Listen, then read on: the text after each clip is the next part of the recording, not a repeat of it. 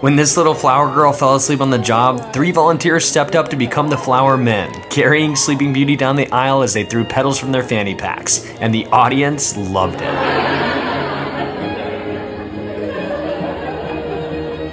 Stop.